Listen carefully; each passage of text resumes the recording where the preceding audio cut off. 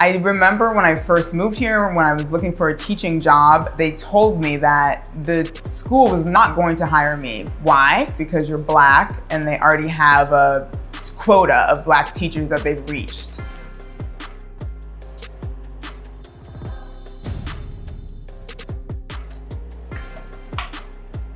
I am Courtney. I am a black cis woman.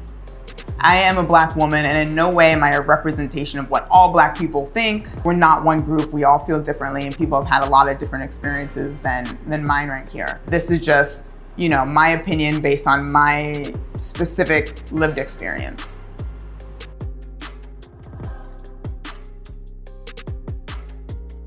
My name is Courtney Payne and I am from the United States of America, from California. I grew up in California in the suburbs of the Bay Area outside San Francisco. I was a middle class family, one sister, two parents, and went to Catholic school, so had a little bit more of a slightly privileged upbringing.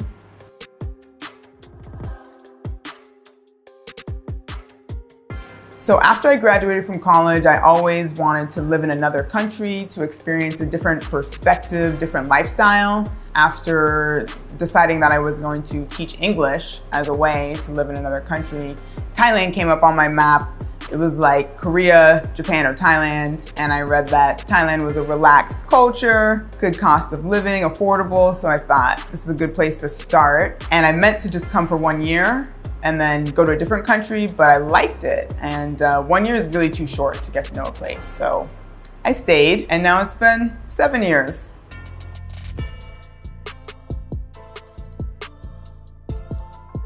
I purposely didn't do any research really. I wanted to be surprised. This is a very exciting and interesting and bright place. That was my first thought actually. Like at the airport, I was like, go with colorful taxis.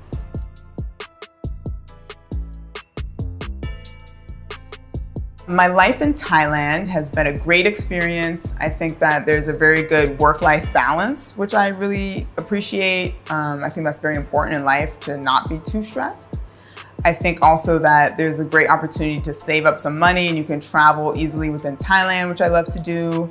I also think that Bangkok has a great balance of like a modern lifestyle in terms of what you have access to, whether it's restaurants, um, opportunities and events as well as just like being able to eat street food and kind of have different levels of, um, of your life.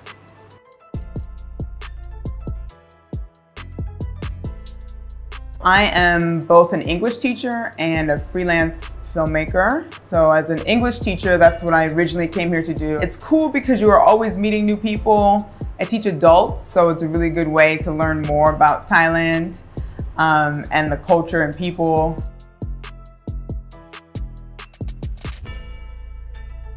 In the US, we don't even have uniforms in the pub in public schools, but here it's very much like it's even down to how you wear your hair for girls and boys. I think it's quite strict. Students in Thailand are often a little bit more reserved, a little bit more shy uh, when it comes to asking questions or sharing their opinions in class, which I think a lot of times in the West or in the US, people cannot stop sharing their opinions, even when we don't want to hear them.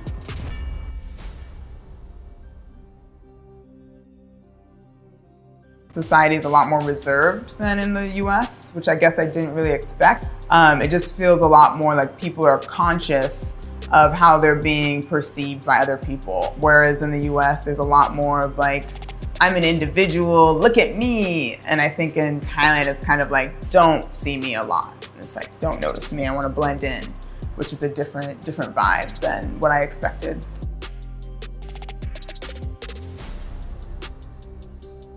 So when I moved here in 2013, I would say Thailand was a very different place from where it is now.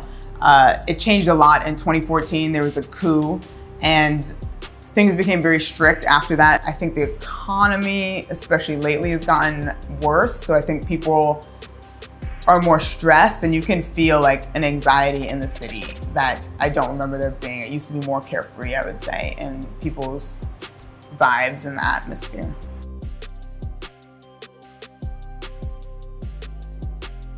A lot of people go as African American, but I just prefer black, simple. To me, being black in America is very much like feeling like an outsider in your own home.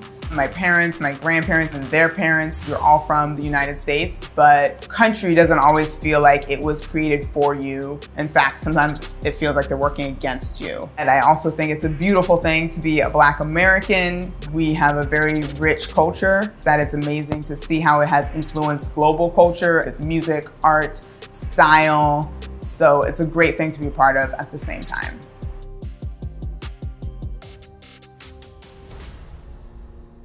As a black person in Asia, you still feel like an outsider, which I guess I'm used to, but uh, it's a different way. You don't really feel like you're expected to understand the culture of the place that you're in. As a black person specifically, I think that you are regarded with some of the same stereotypes that you experience in the United States. American culture is exported through movies, through music, through media. So a lot of those same stereotypes and um, ideas about what black people are like have, you know, spread around the globe.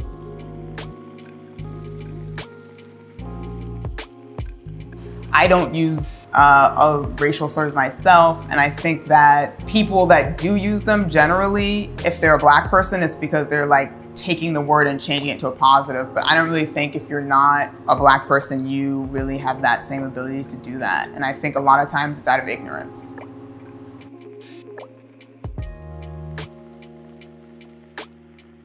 I remember when I first moved here, when I was looking for a teaching job, and they asked me to interview at the school that was uh, looking for a teacher and they told me that the school was not going to hire me, but they wanted me to come anyway to interview. Why?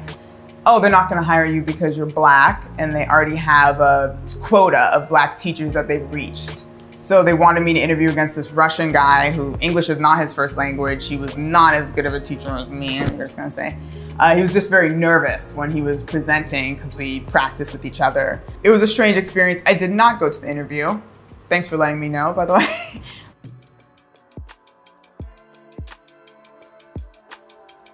Colorism is a thing when people are treated differently because of the tone of their skin. Oh, if you were lighter skin, that means you weren't working outside in the sun, therefore your family must have more money and that's a good thing, right? Um, but I think that over time, it's probably grown beyond that into the idea that if you have lighter skin, you're somehow better more educated, maybe more intelligent. There is a, a fascination with being lighter skinned, I think, in a lot of places in Asia, including in Thailand, as seen by the many skin whitening products, which I always try to avoid because I'm very content with my brown skin.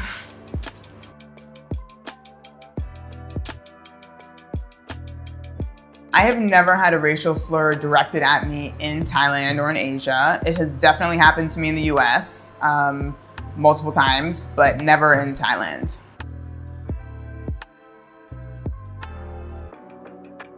It's never a thing that is pleasant or something that you want to feel that you have to do. It often depends on like the context of what was said and, you know, how I'm feeling that day. It's never something that one likes to do or feels even that they should have to do, but sometimes it's a choice that I make. If I feel like I have an opportunity to sort of correct something that is uh, misinformation or rude.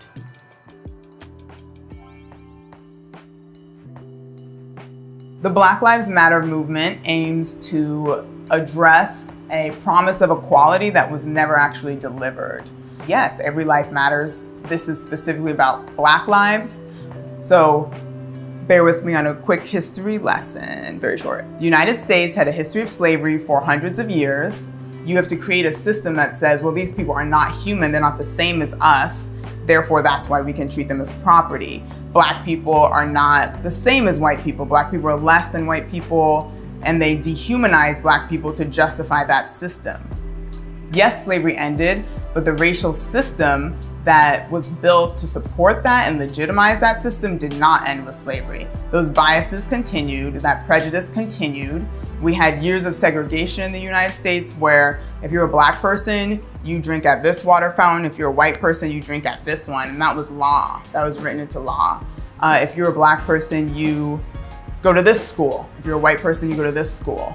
That ended in 1964. It's no longer law to have bias and prejudice and racism written into law. So when you talk about Black Lives Matter, it's just trying to rectify that promise of equality that was never actually delivered after the end of slavery or after the civil rights movement in the 1960s. And so we still struggle with that bias today, and we are trying to address that inequality, which is why we have to say Black Lives Matter, even in 2021.